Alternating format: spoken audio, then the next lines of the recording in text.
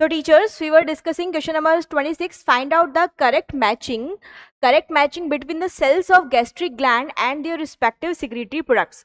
यहाँ पर क्या पूछा गया है गैस्ट्रिक सेल्स जो कि गैस्ट्रिक ग्लैंड्स की तरह बिहेव करती हैं उनके सिक्रीशंस कौन कौन से हैं तो आपको रिस्पेक्टिव सिक्रीटरी प्रोडक्ट्स के साथ पहले आप मैच करेंगे then you have to find the match the columns in the given option ठीक है तो यहाँ पे मैं एक डायग्राम शो कर रही हूँ जिसमें हमें ग्लैंड्स या गैस्ट्रिक सेल्स नज़र आएँगी ठीक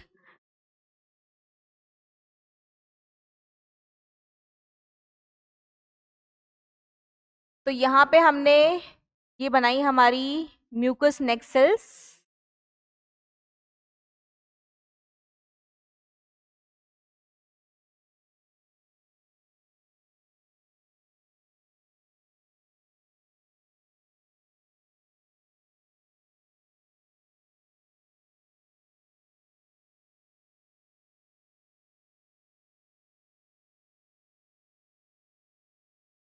ये बनी म्यूकस नेक सेल इसके बाद हम बनाएँगे यहाँ पर हमारी parietal cells two three one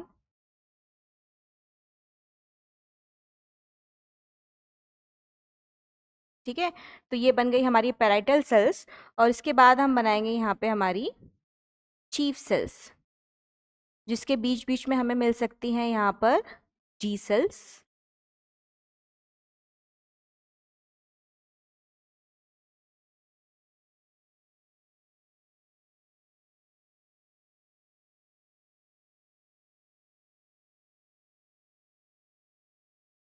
ठीक है?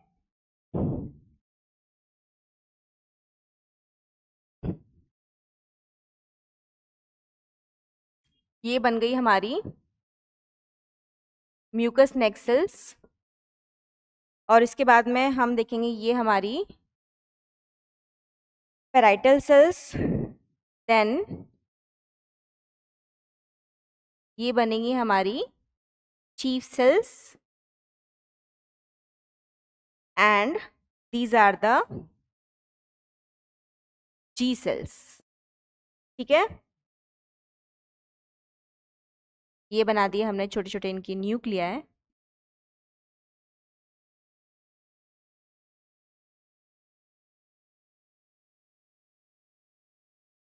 दीज आर द न्यूक्लिया है। इनकी लेबलिंग कर देते हैं। चलो तो ये हो गई हमारी म्यूकस नेक्सल्स, जो म्यूकस रिलीज़ करेंगी। These are the parietal cells parietal या जिनको आप ऑक्जेंटिक सेल्स भी बोलते हैं। ऑक्जेंटिक सेल्स ही बोलते हैं। इसके बाद इधर वाली ये हमारी हो जाएँगी चीफ सेल्स, जिसको आप जाइमोजन सेल्स भी बोलते हैं। चीफ या जाइमोजन सेल्स। ठीक है? और ये बीच बीच में हमारी हो जाएँगी, कौन सी? जी सेल्स। जी सेल्स ठीक है? अब इसमें हम इनके प्रोडक्ट लिख देते हैं। म्यूकस नेक्स्ट सेल्स हैं तो म्यूकस रिलीज़ करेंगी और पेराइटल या ऑक्जेंटिक सेल्स एचसीएल रिलीज़ करते हैं और साथ में कैसल्स इंट्रेंसिक फैक्टर भी रिलीज़ करते हैं। कैसल्स इंट्रेंसिक फैक्टर भी रिलीज़ करते हैं।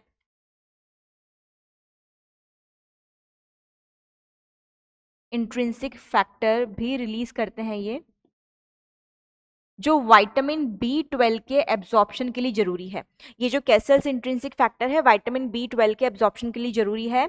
चीफ या zymogenic cells inactive enzymes release करते हैं, जैसे कि पेप्सिनोजन और प्रोरेनिन पेप्सिनोजन और प्रोरेनिन ठीक है?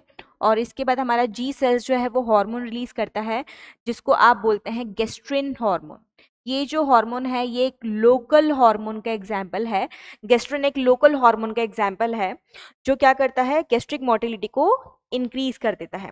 तो आप देख लीजिए, ये हमारी गैस्ट्रिक सेल्स हो गई तो नेक्स्ट सेल जो है वो क्या कर रही है नेक्स्ट सेल जो है वो म्यूकस रिलीज़ कर रही है पेप्टिक या चीफ सेल्स जो है, वो क्या करती है, हमारा पेप्सिनोजन रिलीज़ करती हैं। ठीक? और जो पेराइटल या ऑक्जेंटिक सेल्स हैं, वो क्या कर रही हैं पेराइटल या ऑक्जेंटिक सेल्स हमारा एच सी एल या इंट्रेंसिक फैक्टर रिलीज़ कर रही हैं। तो ए में आ जाएगा टू बिल्कुल सही। बी के अंदर आ जाएगा थ्री बिल्कुल सही। सी के अंदर आ जाएगा वन तो यहाँ तो हमारा फ़र्स्ट ऑप्शन ही करेक्ट हो जाएगा। तो बाकी जो ऑप्शन हैं वो रॉन्ग हो जाएँगे। ठीक है? तो ए ऑप्शन करेक्ट हो जाएगा। यहाँ पे क्वेश्चन की कैटेगरी जो है, इसको मैं थोड़ा सा डिफ़िकल्ट लेवल देना चाहूँगी। क्योंकि यहाँ पे बच्चों को अक्सर ये नहीं पता होता कि कौन सी सेल्स कौन से सिक्रीशन करती हैं। थोड़ा सा बच्चों के लिए टफ हो जाता है। याद रखना, क्योंकि अलग अलग टाइप की सेल्स है, आप देख सकते हैं, यहाँ पर तीन चार तरह की सेल्स दे रखी है। उनकी सिक्रीशन को याद करना, फिर उसको मैचिंग करना, फिर मैचिंग वाले ऑप्शंस ढूंढना तो टफ क्वेश्चन हो जाएगा।